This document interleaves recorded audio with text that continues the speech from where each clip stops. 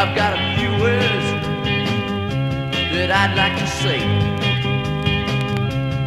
Must be crazy if I'm gonna go this way.